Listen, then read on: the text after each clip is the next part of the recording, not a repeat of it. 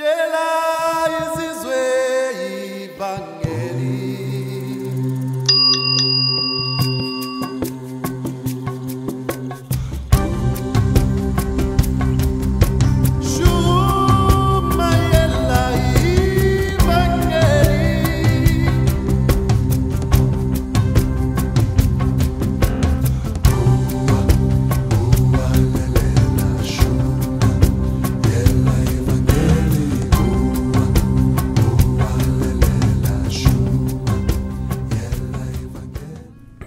Grazie, pace buonasera a tutti. Babbo Mario di ritorno dopo una settimana di, di riposo con l'amore mio. No, non riposo, avevamo qualcosa da fare per cui non ho potuto andare in diretta.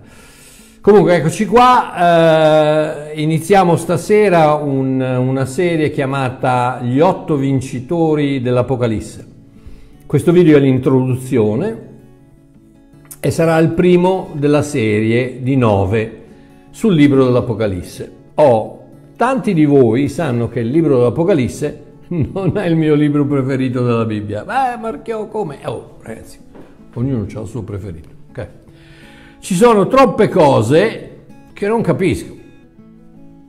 E a me piace capire quello di cui sto parlando. Non mi piace, non mi piace parlare soltanto perché è un concetto, è una dottrina, una tradizione, una... non mi piace. Eh, Io devo capire e devo essere convinto di quello che sto dicendo, se no non lo dico.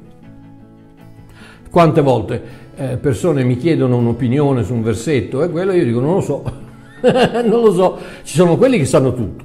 Vabbè, quelli va bene, quelli sanno tutto, da- da- dal- dal- dalla, Sacra Bibbia, dalla Sacra Bibbia alle, al- alle- alle- alle cartine in fondo, alle mappe, Eh, sanno tutto. No, io invece no, io purtroppo invece no, so solo quello che mi dice lo Spirito di Dio, per cui se, se de- se devo, devo capire allora studio, faccio eccetera e prima o poi lo Spirito di Dio me lo dice, altrimenti come ad esempio col libro dell'Apocalisse, io non, io non ci capisco bene, non ci capi- l'agnello con sette corna e con sette occhi, che sono i sette spiriti di Dio. Poi ho sempre pensato che di spiriti di Dio ce ne fosse uno solo, Spirito Santo. Poi il dragone con sette teste, dieci corna, con dieci corone sulle corna. Poi la bestia che sale dalla terra con due corna, come un agnello, ma che parla come un dragone la stella chiamata Assenzio che brucia come una fiaccola e che cade sulla terra. Una stella che cade sulla terra. Una donna vestita di sole con la luna sotto i piedi. Il mare, i fiumi e le sorgenti che diventano sangue.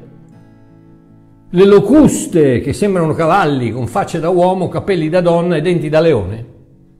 E degli altri cavalli, 200 milioni, eh, sono parecchi per essere esatti, con teste di leone e code di, code di serpenti, eccetera, eccetera, eccetera. Visioni simboliche, indubbiamente. Allegorie, senz'altro. Metafore, certamente. Ma lascio ad altri interpretarle. Molti, molti predicatori, specialmente in questo periodo, mm, parlano degli ultimi tempi, diagrammando gli eventi, identific- identificando i protagonisti e profetizzando il futuro. E che Dio li benedica. Io no. Io leggo prima Giovanni 2,18, che tra l'altro, con tutto il dovuto rispetto, prima Giovanni è lo stesso autore della- dell'Apocalisse, Giovanni. Prima Giovanni 2,18 che dice, che dice la questo, dice fanciulli, è l'ultima ora. Fanciulli, è l'ultima ora. Statemi a sentire quello che sta dicendo Giovanni. Giovanni dice fanciulli, è l'ultima ora, duemila anni fa. Fanciulli è l'ultima ora. E come avete udito, l'anticristo deve venire e fin da ora sono sorti molti anticristi. Da questo conosciamo che è l'ultima ora. A Giovanni, ma l'ultima ora vicina, duemila anni fa? Sentite come dice, come, come- come la mette la, la- la- la- Bibbia della gioia. Dice, cari figli, è giunta l'ultima ora. Voi sapete che deve venire l'anticristo, colui che è contro Cristo. Ebbene, sappiate che già hanno fatto la loro apparizione molte persone di questo genere. Da ciò riconosciamo che la fine del mondo è vicina. A Giova, vicina, duemila anni fa? Ma Marchiò, non li vedi i segni della fine del mondo? Forse. Ma c'è, ragazzi, rendetevi conto che nel corso dei secoli c'è stata molta, molta, molta più tribolazione di quella che c'è adesso. L'impero romano, uè, ti pigliavano i cristiani, li attaccavano ai pali, li verniciavano col, di catrame e li, davano, li, davano, li accendevano, ancora non, non l'ho visto, al, al, ai, sulla via dei fori imperiali a Roma, ancora non ho visto che il governo fa così. Eh, li davano da mangiare ai leoni, mm, insomma un pochino più di tribolazione del Green Pass, mi sembra che, no? Tribolazione, l'inquisizione. Poi ragazzi, lì la, la, la, Chiesa romana ti metteva a rogo, ti metteva a rogo eh, la peste bubbonica, vi ricordate la peste bubbonica? Eh, il Covid, il COVID, amore mio, ma il, la peste bubbonica ha fatto più di 20 milioni di, di, di ha decimato metà, metà Inghilterra, ha de, eh, eh, non mi ricordo quanti, 50 milioni di morti con, la, con, la, con, la, con l'influenza spagnola. C'è già stata la tribolazione, le guerre mondiali, eh, eh ma marchiò i terremoti, le, inondazioni, i disastri. Ok. Amore mio, ricordati che l'unico motivo per cui sembra che ci siano più disastri oggi piuttosto che ieri è solo perché ce ne rendiamo conto, perché ce lo fanno sapere i media. Oggi sappiamo ciò che è successo in Polinesia, in Ecuador, in, Mondo, in Mongolia o in Islanda, pochi minuti dopo che è successo, solo perché attraverso l'internet sono cambiati, cambiati i canali di informazione. Non c'era il telegiornale nel primo secolo a darci le ultime notizie sul terremoto avvenuto in Perù. Non esisteva Facebook nel V secolo per informarci dell'alluvione nelle Filippine. E non esisteva l'istituto sismologico nel 1200 per, avvisa- per avvisarci della tsunami che ha colpito l'Indonesia. Può darsi che questi siano gli ultimi tempi? Può darsi, non dico di no, può darsi. Può darsi che la venuta di Cristo sia imminente? Può darsi. Giovanni, leggete la Bibbia, diceva che, che Gesù Cristo, alcuni dicono che è già venuto. Giovanni, Giovanni diceva che la fine del mondo è vicina, duemila anni fa, quindi mm, rilassiamoci un attimino e può darsi, può darsi che la venuta di Cristo, speriamo, speriamo che, che, che torni, metta un po' di, di, di, di saggezza in questo mondo impazzito, può darsi. Può darsi che il rapimento della Chiesa sia prossimo? Può darsi. Lo sappiamo di certo? Eh no. Gesù ha detto, ma quanto a quel giorno e a quell'ora, fra parentesi, nel greco epoca, quell'epoca, nessuno li conosce, né gli angeli del cielo, né il figlio, ma solo il Padre. Marco 13, 32. Quindi per quanto riguarda questo libro dell'Apocalisse pieno di simboli, ombre, visioni, allegorie, io preferisco trovarci la buona novella. Eh, Marchiola, buona novella nell'Apocalisse. Sì, amore mio, sì, è da tutte le parti, basta saperla identificare. Faccio solo un paio di esempi, ok? Apocalisse 1, 5. Apocalisse 1, 5. Dice, Giovanni alle sette chiese che sono nell'Asia. Grazia a voi. Grazia a voi. Apre tutte le, le a grazia a voi e pace da colui che è, che era e che ha da venire. Se la cerchi, la buona novella, la trovi da tutte le parti. Pace da colui che è, che era e che ha da venire. Quindi Giovanni sta parlando dell'eternità, è, era e sarà eternità. La vita che riceviamo è la sua, è la vita di Cristo ed è eterna, non temporanea. Buona novella. Giovanni continua, e dai sette spiriti che sono davanti al, trono, al suo trono. Ok, 7. E da Gesù Cristo il testimone fedele, il primogenito dai morti. Primogenito dai morti. Eh, eh, se lui è il primogenito, eh, allora ci sono anch'io, da qualche parte, nella lista.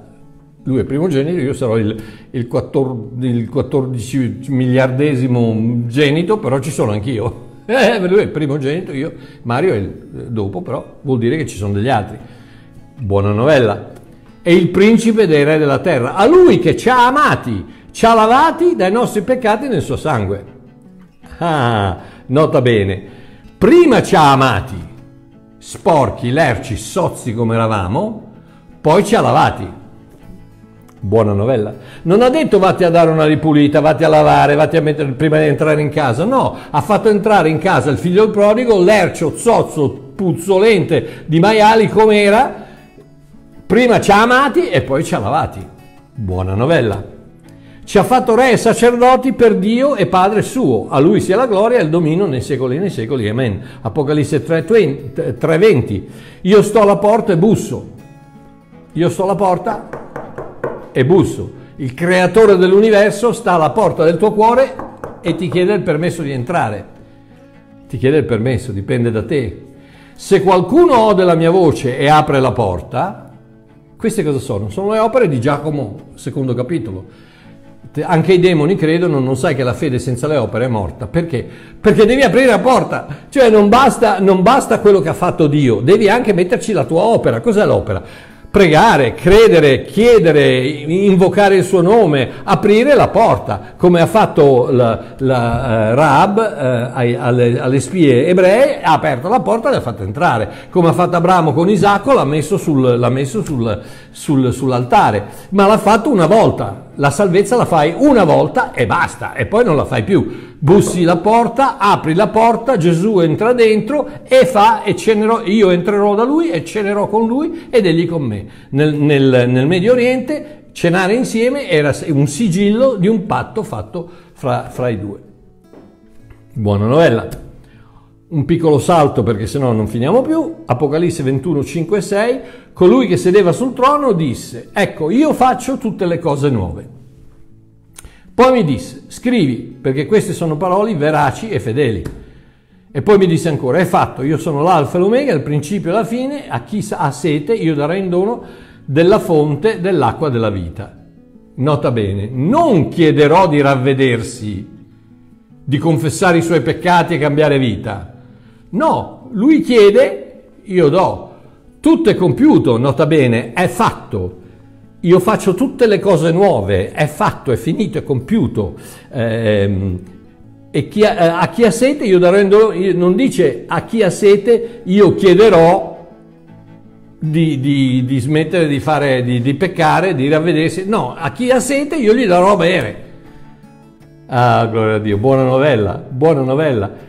Lui chiede, Gesù dice, lui mi chiede e io gli do tutto è compiuto. Giovanni 19:30, eternità. Perché? Perché Gesù vive, io vivrò per sempre con lui. Io sono l'alfa e l'omega, il principio, la vita, il principio e la fine. Perché Gesù vive, io vivrò per sempre con lui. Oh, ho parlato a una conferenza ieri dove hanno cantato un canto di lode in inglese che io adoro da anni e anni e anni. Che è così, because he lives I can face tomorrow because he lives. All fear has gone because I know, yes, I know he holds the future. That life is worth the living just because he lives. Che tradotto vuol dire, siccome Gesù vive, posso guardare al domani. Siccome Gesù vive, la paura se n'è andata. Siccome io sì, sì, lo so che il mio futuro è nelle sue mani, che la mia vita vale la pena di essere vissuta, perché? Siccome Gesù vive. Specialmente in questi giorni di pandemia, di paura, dove dal Canada all'Australia, dall'Inghilterra all'America, dall'Italia al Sudafrica, tutti cercano di farti credere che devi temere l'ennesima variante, temi, abbi paura, c'è l'ennesima variante, devi fare un altro vaccino, devi farti il, 25 eh, devi, eh, tutti, devono, tu, tutti vogliono farti credere che prima o poi eh, muori, muori, basta. Se non ti vaccini muori, se non hai il Green Pass non ci sarà un domani. Because he lives, I can face tomorrow. Because he lives, all fear has gone. Alleluia. perché vive, io posso guardare in faccia al domani. Perché lui vive, io non ho paura. Gloria a Dio, ragazzi. Ma vuoi farti il vaccino? Ma fatelo. Ma non te lo vuoi fare? Ma non te lo fare. Lascia che sia Dio a decidere, non i governi. Lasciamo perdere. lasciamo perdere. Eh, quindi, Nel libro dell'Apocalisse, come del resto dappertutto nella Bibbia, incluso il Vecchio Testamento, ci sono tanti, ma tanti, ma tanti altri versetti che contengono la buona novella della grazia di Dio. Tra questi gli otto versetti che parlano di chi vince, dei quali parlerò in questa serie. Ma Mario, come fai a dire che chi vince è una buona novella? Chiaramente vuol dire che per ottenere le promesse devi stringere i denti, resistere fino in fondo e sperare di riuscire a vincere prima che arrivi la fine. No, amore mio. No, amore mio. Quello è quanto afferma il religionismo, che è da sempre stato impregnato di paura, requisiti, obblighi e carenza di fede, da secoli di tradizione morta. La parola greca tradotta vincere, chi vince, vincere, negli otto versetti che tratterò nell'Apocalisse, è la parola nikao, nikao, e la troviamo tradotta così 28 volte, incluso prima Giovanni 5, 4 e 5 che dice tutto quello che è nato da Dio vince il mondo. E questa è la vittoria che ha vinto il mondo, la nostra fede. Chi è che vince il mondo se non colui che crede che Gesù è il figlio di Dio? Il credente ha già vinto. Se credi, hai già vinto. Ma il passaggio che mi interessa, che ci interessa di più degli altri, è Romani 8, dal 32 al 37, che dice questo. Che diremo dunque circa di queste cose? Se Dio è per noi, chi sarà contro di noi? Certamente colui che non ha risparmiato il suo proprio figlio, ma lo ha dato per tutti noi, come non ci donerà anche tutte le cose con lui? Ricordati che la, la risposta al, alla domanda Dio mi ama non sono le preghiere esaudite, non sono il fatto che con la bacchetta magica della preghiera Dio fa quello che gli dici di fare. No, la prova che Dio ti ama è la croce. E da lì scaturisce tutto. Se Dio ti ha amato tanto da non risparmiare il suo proprio figlio, ma, dar, ma darlo per tutti noi, ma come non ci donerà anche tutte le cose con lui, in lui. I premi che ricevi non sono le mansioni, le case, le ville, le, le, le d'oro, le, le, collane d'oro, le corone, i vari premi, eccetera. No, il premio è uno e si chiama Gesù Cristo. Basta. E se tu pensi che, possa, esist- che possa esistere un premio superiore a Gesù Cristo, sarà meglio che ti dai una lavata di cervello perché non hai capito niente del, del, Vangelo, non hai capito niente dell'amore di Dio, non hai capito niente della grazia di Dio, non hai capito niente di niente, non hai capito niente di questo libro, non hai capito niente. Non può esistere un... Eh, nel libro Apocalisse Gesù, Gesù, dice alla fine, dice, um, ascolta, io vengo e la mia ricompensa è con me. Io sono la tua ricompensa. Nel, nel libro de, de, della Genesi, quando, quando io sono la tua ricompensa non, ha, non, hai, non, hai, bisogno di ricompense. Io sono la tua ricompensa, come, come, Dio dice ad Abramo, io sono la tua ricompensa, grandissima ricompensa. Gesù dice a noi, io vengo e la, la mia ricompensa è con me. La ricompensa, il premio è Gesù Cristo. Vabbè, andiamo avanti. Quindi, certamente colui che non ha risparmiato il suo proprio figlio, ma l'ha dato per tutti noi, come ci donerà, come non ci donerà anche tutte le cose con lui? Chi accuserà gli eletti di Dio? Dio è colui che li giustifica. Sai chi è l'unica persona che può accusarti? Dio non vuole, il diavolo non può, gli altri possono fare quello che vogliono ma non serve a niente. L'unica persona che può accusarti sei tu. Se tu non, non, non, ricevi per fede quello che Dio ti dice nel suo amore, che la tua salvezza è eterna, che non la potrai mai perdere, che la tua figliolanza è eterna, che non la potrai mai perdere, che se sei figlio, figlio sei, figlio resterai per il resto dell'eternità, che la tua vita è eterna, non temporanea, che il tuo perdono è eterno, non temporaneo, non limitato, non condizionale, che l'amore di Dio è incondizionato. Eh, se, se, tu non credi in quello e accetti, allora il diavolo arriva, ti, ti accusa e tu accetti l'accusa e ti senti accusato. Perché Dio è colui che ti giustifica. E amore mio, una volta giustificato da Dio, giustificato sei e giustificato resti. Ma Paolo va avanti. Chi è colui che li condannerà? Ma chi può condannarti? Chi è colui che può condannare? Ma chi ti può condannare quando Dio ti ha detto sei innocente?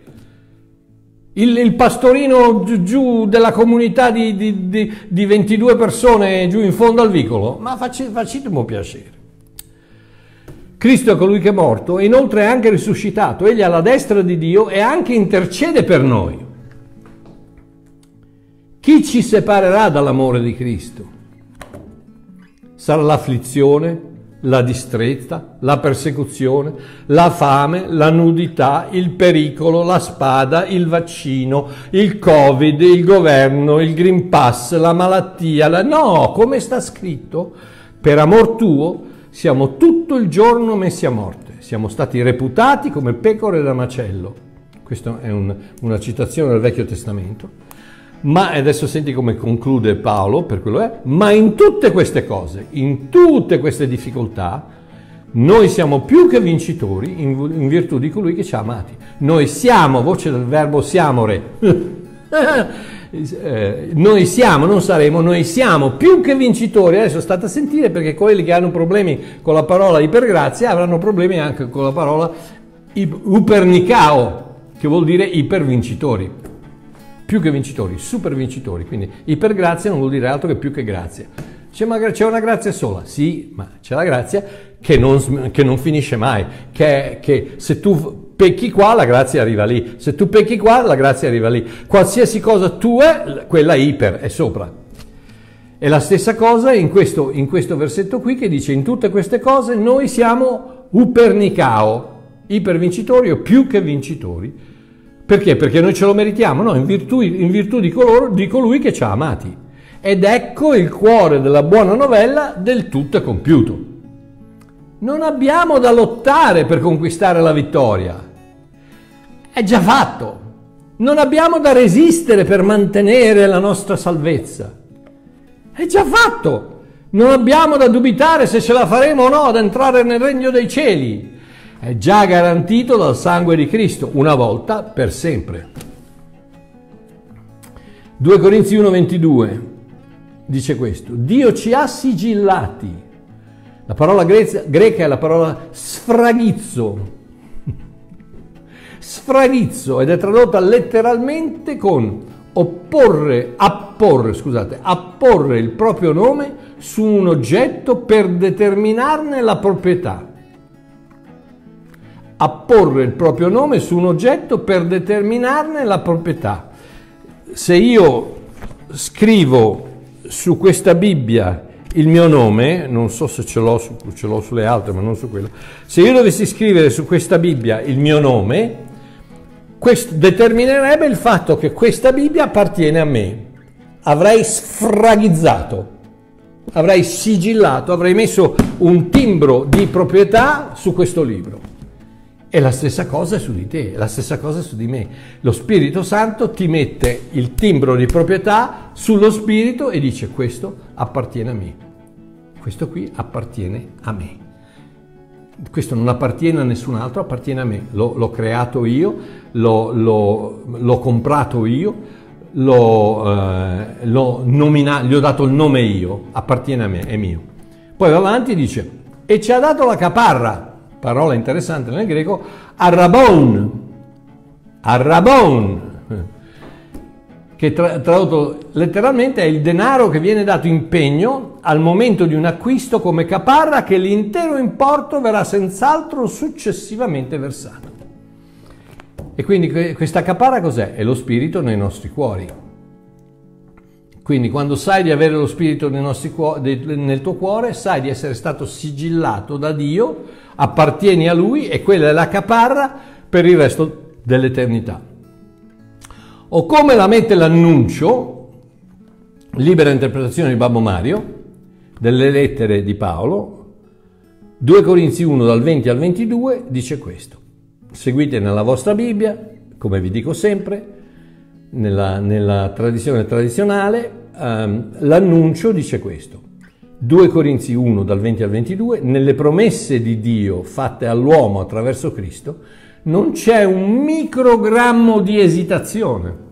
Tutte le sue dichiarazioni finiscono con un sonoro così sia.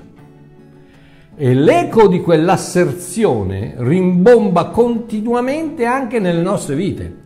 Ora questo Dio che ci ha fatti uno con suo figlio e ci ha mandati a predicare il suo Vangelo, ha firmato il rogito di proprietà nei nostri cuori e ha pagato la, la caparra con lo Spirito Santo una volta per sempre.